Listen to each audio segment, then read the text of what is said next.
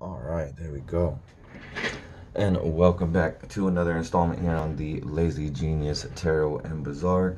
Today I have another unboxing for you. Um, I just got it in the mail from Amazon, and uh, here's the Amazon pouch. I've already busted it open because there was something in here that wasn't tarot related that I had to get out of the bag here, but today I got in the 100% plastic Rider Tarot deck. So the 100% plastic yellow box. Uh, I have been waiting on getting this one because it's supposed to be the one that you can use outside in the elements, waterproof, tear-proof, damage-proof, the whole nine. Give me just one second. Let me grab some scissors so I can get through the plastic and we will get to getting looking at the cards here. All right, I got my scissors and I grabbed my 91, uh, my early 90s rather, somewhere between 91 and 94, I believe. Uh, yellow box here, just so that we can compare card stock to see what the plastic ones feel like in comparison. Let me go ahead and get through this here.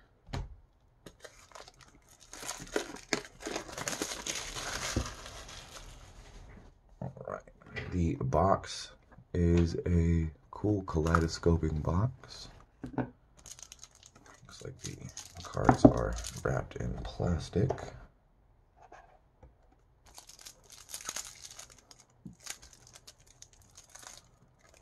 Plastic's pretty easy to get through though.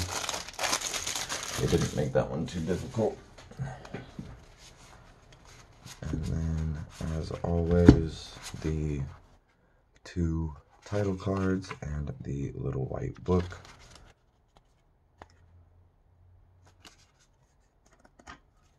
Put those off to the side here in the box. I really like this box. It's super sturdy. Um, I don't think that the box itself is waterproof, but uh, it is definitely a sturdy box. I like the way that it's put together. Okay. Make some room for that on the shelf. And then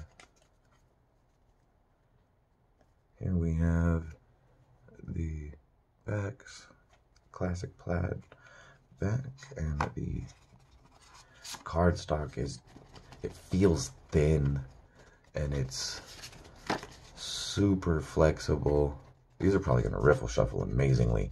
Um, but even though they definitely feel thin, they almost, I would almost say they feel flimsy, right? Because, like, but then it bounces right back. No bow in the card, nothing. Um, yeah, they almost feel flimsy, but they're durable. It's supposed to be waterproof and tear-proof. Um, we'll just take a look at the major arcana here as it came out. And then we will, hold on. Is this guy still in order? Probably not. I know I've been reading with it. Yeah, I know. Okay, we'll hold off on that. We will just take a look through the majors here. I'll do a comparison video of this one versus the uh, other yellow boxes that I have. I actually have one, two, I have three more yellow boxes coming in. And then once I get those in, I'm going to go through the process of dating them. I will probably reach out to uh, the channel Melissa Zupan. I don't think that's her actual like real name. Um, but that is her channel name. I'll probably reach out to her and Brant over at Moon Baby um, to see if they can help me to date the decks. Um, I really like the colors in the plastic version, actually. Hold on, let me see if I can fish out the Lovers card from the 91, or the early 90s, rather, yellow box that I have.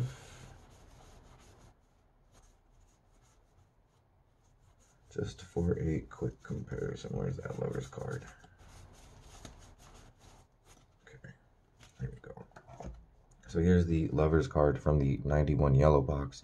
You see here in the new plastic edition. The colors are definitely a little bit more vibrant. Um, it looks like they've brightened everything up a little bit. Um, see changes in colors between like the snake on both of the cards. It's greener here. Uh, the leaves are much greener. The sky is a deeper blue. All of the colors and the angel and the yellows are much deeper. Um, so yeah, definitely a shift in coloration there. But like I said, um, I've got a couple of other RWS decks on their way for as far as yellow boxes are concerned. And then once I get them dated and sort of start building up a timeline there, I will be doing a larger RWS comparison, or a few of them rather, where we compare yellow boxes versus the other um, editions of the yellow box. And then um, you know, I also have the study deck and the 1909 art restoration deck, which are supposed to be, uh, you know, pretty much the closest thing that we're going to be able to get to holding a 1909 or 1910 deck without actually spending the $2,000 to buy one whenever one surfaces. Here's the Hermit. Um, so I'm going to compare those up against this, uh, you know, the other RWS decks that I have. Um, as well. So I definitely got quite a few RWS comparison videos in the works. Um, I'm sort of at this point right now just waiting on the three other yellow boxes that I have on the way to me to get here and then I will start the process for recording those videos. Um, like I said, we're only going to go through the majors here just because it's the RWS deck. Um, so, you know, everybody's seen the images. The colors in this one are definitely um, a little bit more saturated, a little bit brighter um, than at least the 90, the early 90s version that I have. Um, here we still see the details though in the banner, the sunflower down here in the corner, and the little squiggly line up there at the top.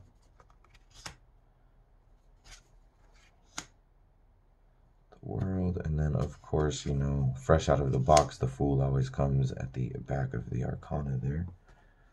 And here we can even see that the back of the Fool has those deep, sort of deeper yellows. It's not quite mustard, um, so they haven't really darkened it up too much, but it is definitely a deeper yellow than the uh, sort of brighter yellow that we see in earlier decks.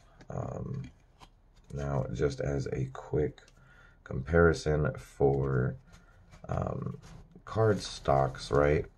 Because we are dealing with the plastic deck now. Um, here, like I said, the early 90s plaid back and the new plastic deck. So if you can see, it's actually a little bit thicker, just a tad, um, than the 91 yellow box. It looks like we've probably got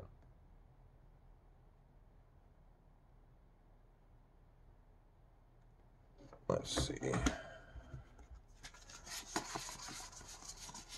about eight cards thicker than the old 91 uh, early 90s, I should say, plaid backs. So it is actually a little bit thicker than some of the older decks, but then when we look at the flexibility in the cards, these ones definitely, if I were to bend the early 90s as far as I can bend these without any damage to these cards with the plastic ones, then this one would definitely probably pop a huge uh, fold or you know crease in the card somewhere from me trying to bend it that far. Um, so far, this has been my favorite card stock in my collection. Is this early '90s yellow box? It shuffles amazingly, right? Um, but now that these plastic ones are in, they are so much more malleable I've always kind of avoided the whole plastic card thing, to be honest, because I didn't know how they were going to feel. Um, but in the interest of my newfound dive down the yellow box rabbit hole, I kind of felt like it was pertinent to get the plastic edition of it as well. Um, but the cards feel great. Um, like I said, you can, to shuffle amazingly. Um, they feel good in the hand too. So yeah, that's the plastic, the 100% plastic Rider Tarot deck. Um, so yeah, glad that I got this one in. I thank you guys for hanging out with me for a little bit while we unbox this particular deck. I'm to go ahead and get him all packed back up. into the box there. So yeah, I like the box too. It fits the deck nicely. Um, rather sturdy as well. So the box here is definitely um, different than your yellow box, like your normal yellow box. But if I'm not mistaken, all of the same information is there. It's just printed in different places. Um, so, yeah. That is the 100% plastic Rider Tarot deck. Uh, like I said, I appreciate you guys for stopping by and hanging out with me and going over the new deck that I just got in.